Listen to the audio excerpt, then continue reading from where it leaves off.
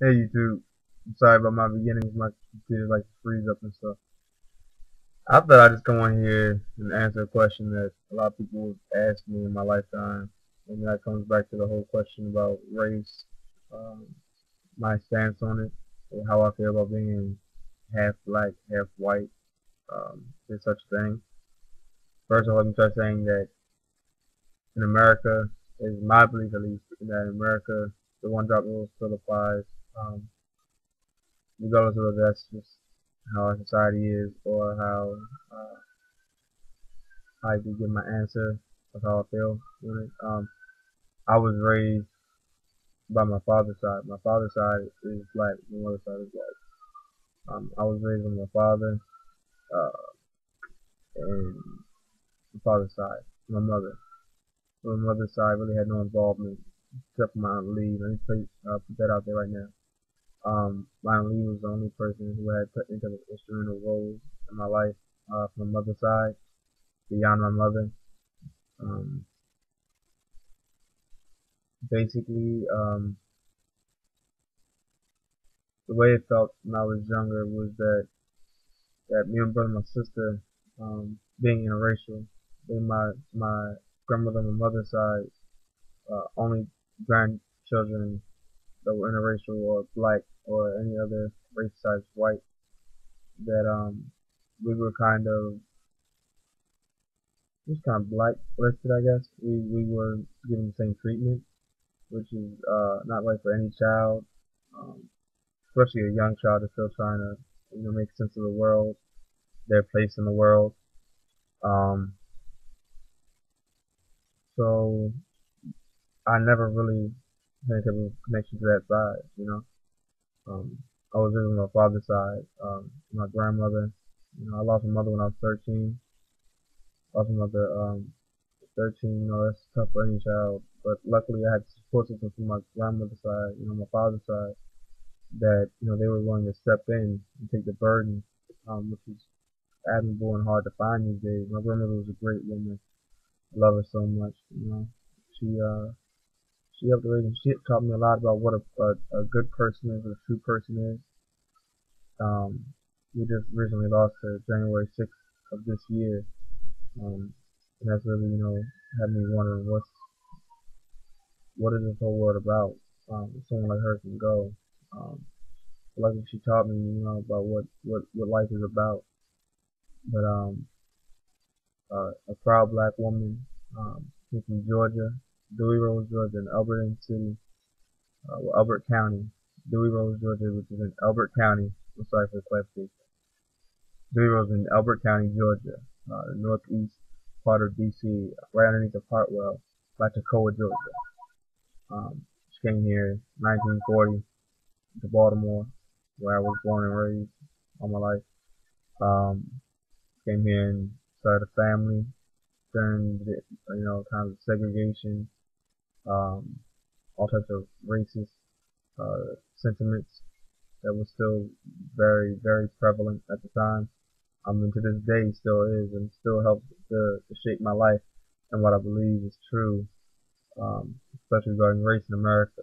Um, in America, these days, a lot of people say, you know, you're black and you're white. Um, that's one of the biggest contradictions I've ever heard in my life, you know. Um, in this society, you can't be both. You can't one day decide I'm gonna be black, the other day I'm gonna be white. It doesn't doesn't work that way, you know. And um, I've always considered myself black. You know, I've never said I'm black and white. I know um, maybe I was going to say mixed, but uh, I mean, I, anybody asks me, I'm black. You know, say, well, you have to be something else. I mean, your mother's white, but that doesn't. Uh, race is a social construct that is very, very uh, important in this in this country, in our in our society, in our beliefs. You know, you have to be something. You can't. Everybody has to be something. Uh, so sometimes they can be nothing. At least in somebody else's eyes. So I'm a proud Black American.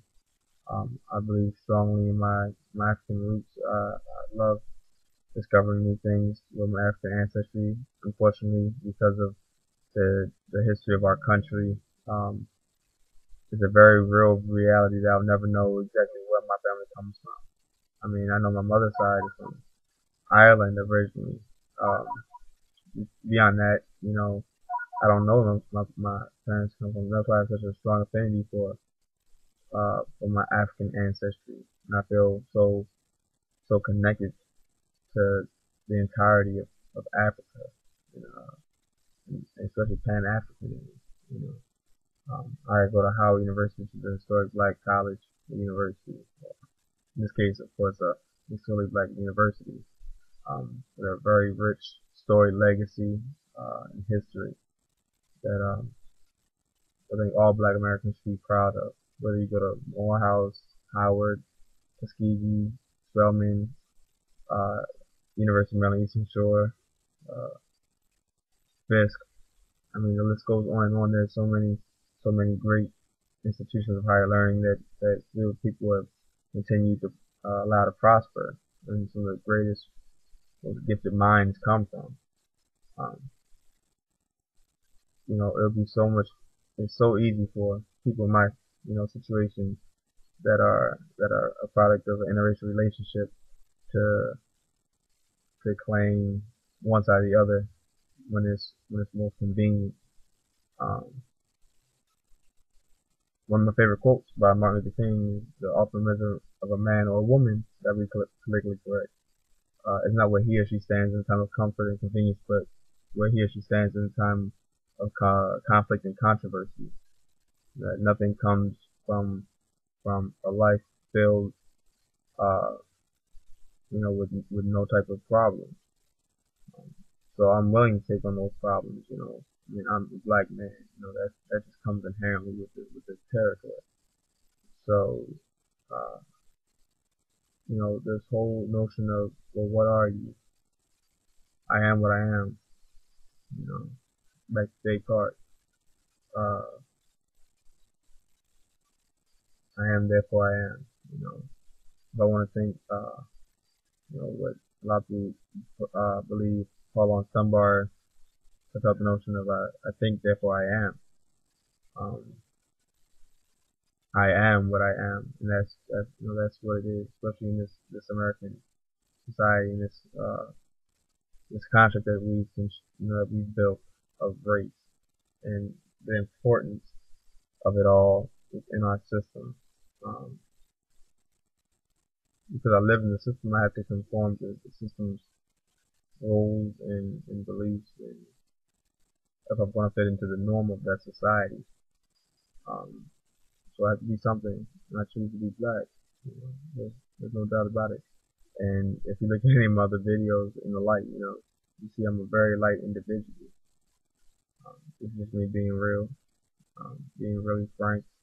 Um, there's a, there's there's so much more. There's so many things that you learn uh, black community that you know I've never really had an opportunity of experiencing you know, the white side. So from what I've, uh, you know, experienced and what I've noticed and, and been able to, to digest and interpret, you know, you know, there, there's, there's nothing, there's nothing comparable to it. It's a beautiful thing. My dying breath, I'll be a black man and be proud of that. And, uh, that's just my little, my little snippet on what, how I feel about race, uh, being a, a biracial mixed person. You know, my father said, you know, there's no such thing as a mixed person. But I'm gonna leave that alone. Y'all sleep tight out there.